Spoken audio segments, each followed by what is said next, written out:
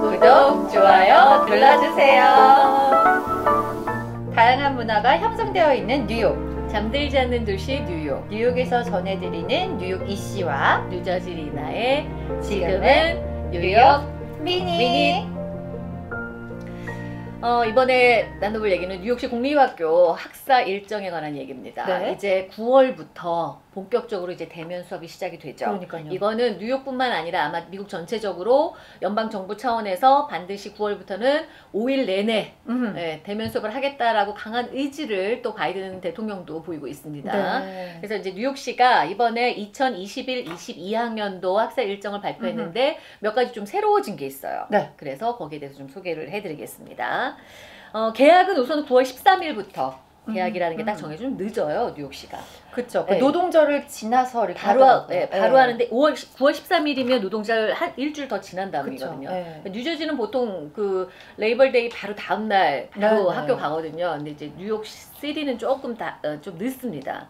그리고 가을 학기부터 당연히 5일 내내 대면 수업 하겠다. 근데 이제 음흠. 선택권은 줬어요. 이거는 음. 강제성은 아니에요. 그래서 이제 부모에 따라서 뭐 안 하겠다는 부모는 안할 수도 있다라고 는 얘기를 했어요. 다행이네요. 그래서 어 근데 이제 아이들을 위해서는 대면 수업을 하는 게 그리고 이제 곧 그 16세 이하 백신 12세부터. 네, 음. 시- 그 백신 접종 시작되거든요. 네. 그래서 이제 부모들도 아이들 많이 맞히지 않을까 싶습니다. 학교 가기 전에. 어, 뉴욕시에 좀 새로워진 것 중에 하나가 뭐냐면 여러분 Juneteenth Day, Juneteenth Day 음. 뭔지 알죠? Juneteenth Day. 네, 네. Juneteenth Day. 이 날이 어, 보통 우리가 그 노예 해방 기념일 한국말로는 이렇게 좀 많이 얘기하죠. 이 날이 그 미국에서 노예 제도가 다 없어졌는데 유일하게 텍사스에만 여전히 노예 제도가 남아 있었대요.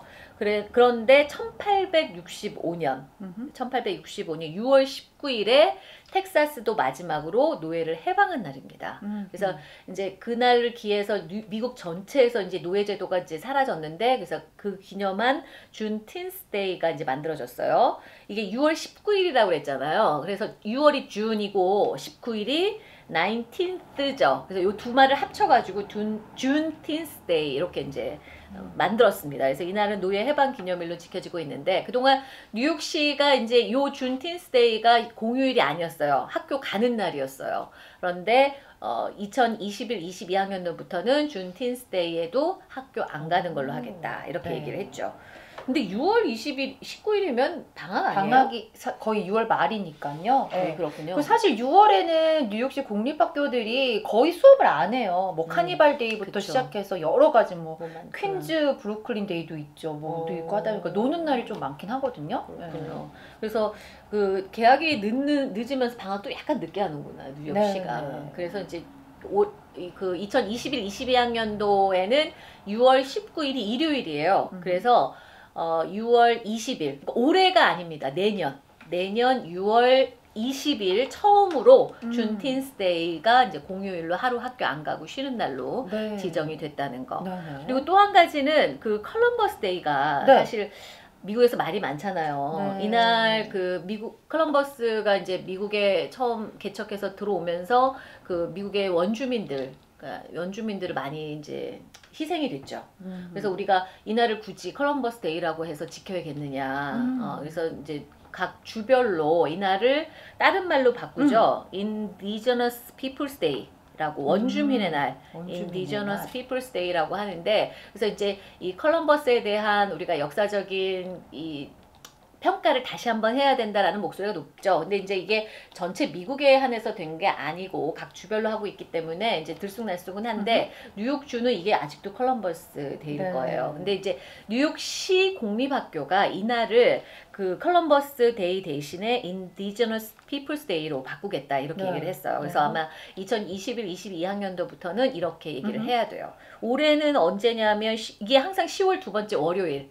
네, 이제 그렇게 되는데 올해는 10월 11일이에요. 그래서 네. 이날부터는 뉴욕시 공립학교에서도 공식적으로 네. 어, Columbus Day라고 하지 않고 Indigenous Peoples Day라고 한다는 거. 네. 마지막으로 뉴욕시가 이제 2021, 22학년도부터는 snow day를 없애겠다 이렇게 얘기를 했어요. 음. 이게 왜냐하면 우리가 보통 이제 눈, 오- 눈이 오면 학교가 폐쇄되면서 학교를 안 가죠. 그렇죠. 근데 이제는 우리가 코, 코로나 이 팬데믹을 겪으면서 학교 안 가는 날은 원격으로 수업이 가능해졌단 말이에요. 그래서 snow day를 없애는 거였습니다. 그러니까 아이들은 음. 아이들은 너무 속상하죠. 하루 쉬는 하루 날인데. 쉬어야 되는데. 예. 아. 하루 쉬는 날인데 이 네. 날을 쉬지를 못하고 아하. 온, 온라인으로 이제 네. 수업을 해야 되는 겁니다. 아하. 그리고 왜 그 선거일이 있어요. 네네. 11월 2일. 맞아요. 요 선거일에도 원래는 쉬어야 되는데 이날도 학교는 폐쇄하지만 네. 온라인 수업을 하겠다 아. 이렇게 발표를 했습니다. 앞으로는 점점 그럴 것 같아요. 드블라지오 시장이 학구열이 굉장히 강한 것 같아요. 왜냐면 지금 snow day가 없어졌다는 얘기를 접했을 때도 음. 어차피 눈이 와도 쉬지도 않거든요. 학교 그냥 오라 그래요? 네, 자기 아이들도 어렸을 때 눈 오는데 열심히 걸어 다녔다며. 그래서 항상 눈 오는 눈이 이제 폭설이 내릴 거란 예보가 나오면 어. 교육청 페이스북이 난리가 납니다. 아, 확인하느냐고 학교를 아니요.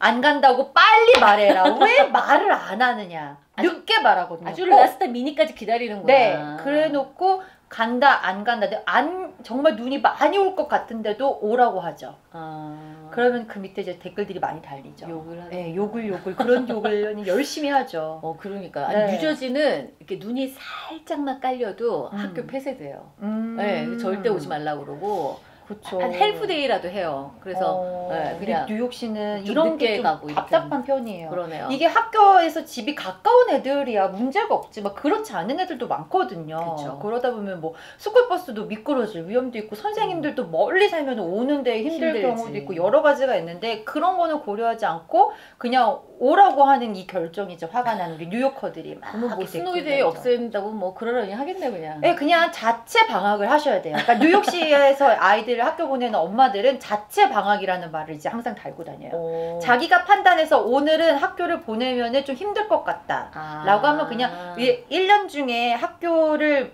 안 가고 빠져도 괜찮은 그 허락 날짜가 그렇죠, 있잖아요. 그렇죠. 네, 그 날짜만 지켜서 그래서, 네. 아. 무슨 국위 영화를 얻겠다고 애들을 막 힘들게 학교 보내겠느냐. 그쵸. 네, 오는 살면서. 날은 어, 미국은 어디를 이렇게 나다니기가 쉽지 않거든요. 그러니까 위험하기도 네. 한데 참 맞아요. 뉴욕시가 그렇군요. 네, 학구열이 강한 우리 두블. 어쨌든 그래서 이렇게 요즘 유- 뉴욕시 다음 학년도가 좀 학사 일정이 이렇게 좀 바뀐다는 점 짚어드렸습니다. 네. Thank you.